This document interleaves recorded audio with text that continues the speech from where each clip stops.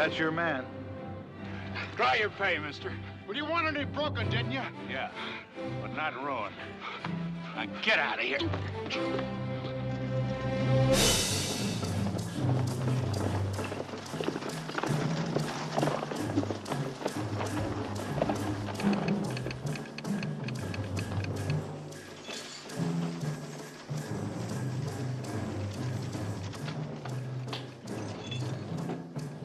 Marshall?